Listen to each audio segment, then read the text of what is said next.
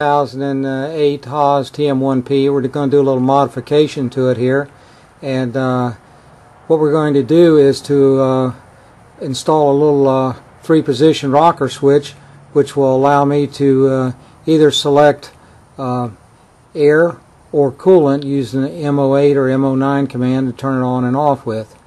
And uh, we're going to install a little three position switch there and wire it into the, the back of our cabinet and we'll show you what that's all about here in just a few few seconds. Thank you. Hello. This is my Haas uh, TM1P and uh, we're installing a, a little switch on here. It's a three position switch. The one on the left where it says hold to run. Um, this is going to be for converting the uh, coolant to air and you can select either whether you want to uh, blow air on the part or whether you want to uh, spray coolant on it. And by flipping it up to the top position it's a rocker switch three position push it up to the top you'll get uh, air. And if you put it in the center it turns it off completely. And if you push it down to the bottom position you get uh, coolant. We're going to look at the other side of the, the connector now on the inside of the cabinet this is the the back side of uh, the TM1P uh, pendant control. As you can see, this has uh, the switch has the three positions on it.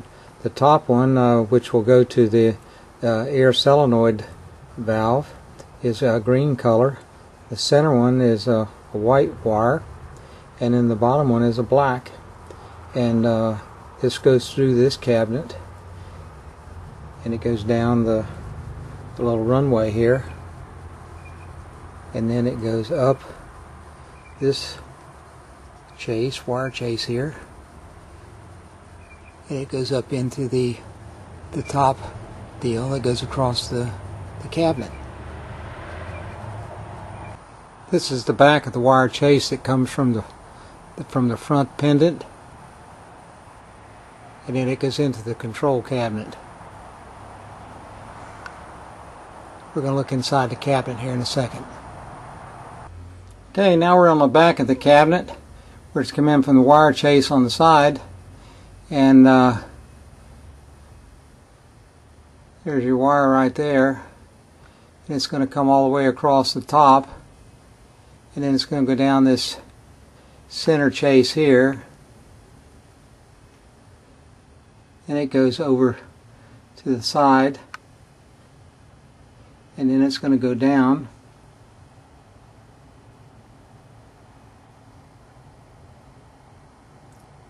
And there's where it comes out. Right here. And this plug here is your coolant plug where your it goes to your motor that actuates a coolant pump. And what we're going to do we're going to break this red wire and we're going to hook one of the wires onto that red wire. And uh, then go back to the switch. And then we're also going to have another wire that's going to come out of this cable here. We don't have hooked up yet. And that's going to go to our air solenoid valve. And that way we can either uh, apply power to the air solenoid valve 115 volts or apply it to the coolant plug which this is the inside of the receptacle. This is the outside of the control cabinet. This is the outer side of the, the coolant plug.